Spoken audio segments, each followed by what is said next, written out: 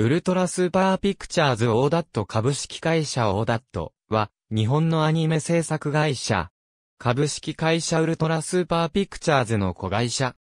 社名のオーダットは、英語のワードに相当するデンマーク語の単語で、発音は、オアあるいは、オアに近い。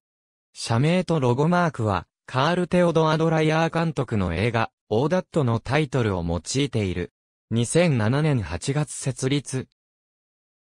京都アニメーションデジタル映像開発室を経て、子会社のアニメーションドゥへ移籍したアニメーション演出家の山本博士が、同年のアニメーション作品、ラキスタの監督を、監督において、まだその域に達していないとの京都アニメーションの社内判断によって降板させられた後、同年6月23日をもって、アニメーションドゥを退社し、設立した。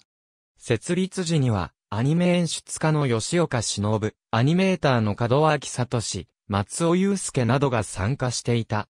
同年、スケッチブック、フルカラー S でグロス受け制作を開始。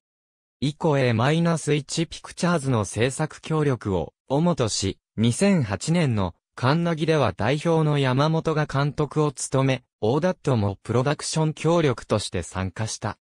2011年8月、持ち株会社、株式会社ウルトラスーパーピクチャーズが設立され、3DCG 制作の株式会社、3次元、2D アニメーション制作の株式会社トリガー及び、株式会社ライデンフィルムと共に、グループ企業の一員となった。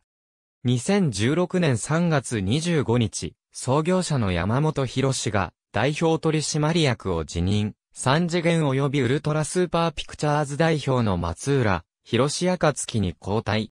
前後して公式、ツイッターの更新を一時休止、竹内博明が自身のツイッターのプロフを元オーダット顧問に変更、公式サイトから電話番号とメールアドレスが削除され制作活動を休止した模様。ネットショップのリンクも削除し、実質店じまいとなった。ありがとうございます。